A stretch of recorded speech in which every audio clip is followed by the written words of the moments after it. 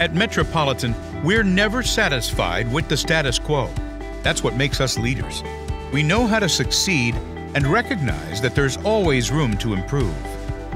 Our pioneering spirit is rooted in our founding when we built the Colorado River Aqueduct to bring a new water source hundreds of miles to a growing Southern California. And again in 1960, when Metropolitan was the first contractor to join the State Water Project to import water from Northern California. Now considered national leaders in conservation and local resource development, we've responded to every new challenge to provide water reliability to a region of 19 million people. This last year was historic in so many ways. Now, I know I've said that before, but this year was truly unprecedented with a worldwide pandemic. It's tested us as an organization, as builders, as planners, as people of conscience. Our employees have risen to the occasion, they've shown resiliency, and the value of all our planning efforts. And although we can't prepare for each and every possible scenario, there's one thing that helps us every time, and that's that we're always planning. We plan to innovate. We design for resilience, and we recognize the value of every employee's contributions. Here are some of the ways we responded to challenge this year. How we quickly adapted to difficult conditions. We've been growing and changing for the better. Finding better ways to plan.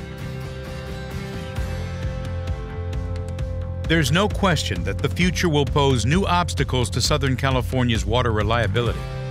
With that in mind, Metropolitan's board considered the shifting water landscape and the district's second century at a two-day retreat last fall.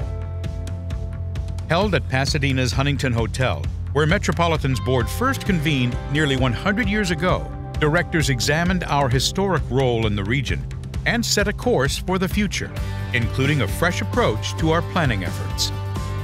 The process for creating the new 2020 Integrated Resources Plan began by engaging stakeholders to identify potential scenarios that could impact our future, which will help us to create a roadmap for how we tackle these challenges to meet the region's needs over the next 25 years.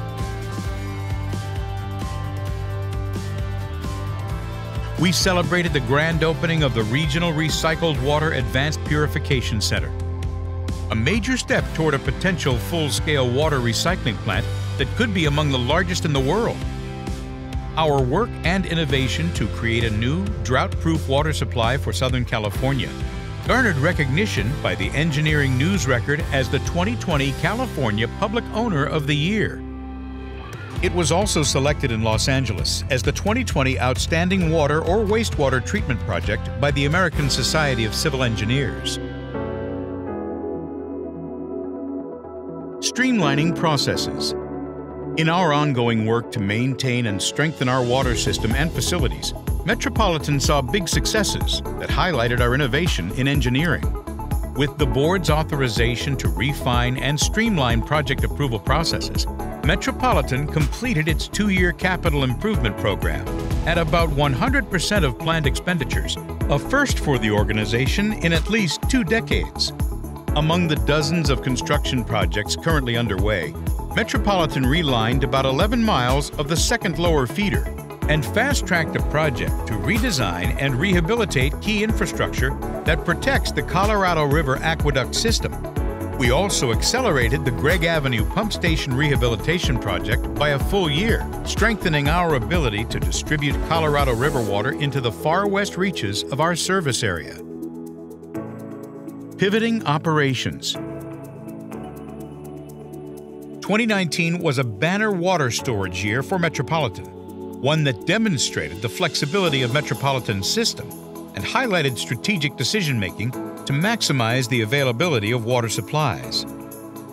By quickly adapting operations to changing conditions and continuing to promote lower water use, Metropolitan broke records. We saw the highest end-of-year storage and the lowest net Colorado River diversions in over 60 years, making Metropolitan more reliable than ever.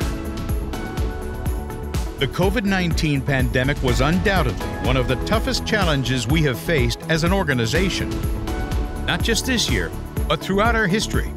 Metropolitan responded quickly and early, sending a majority of employees home to a new and productive telework environment, and introducing micro teams to protect field staff. In a matter of hours, we completely reimagined how we work and engage with the public. In the face of so much uncertainty, we assured the region that one thing they didn't need to worry about was the safety of their water supply. Strengthening culture. In a year when ethics, equity, and inclusion were amplified on the national stage, we took a strong stand to drive change. Metropolitan renewed its focus on our own integrity, commitment to fairness, and respect for diversity.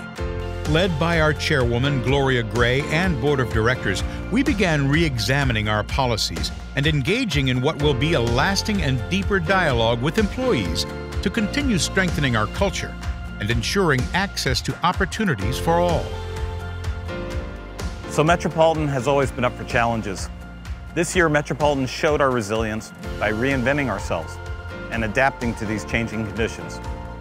This would not have been possible without the talent of our workforce, our ongoing planning efforts, and our culture of innovation and dedication to those we serve. We certainly earned our status as essential workers. Thank you.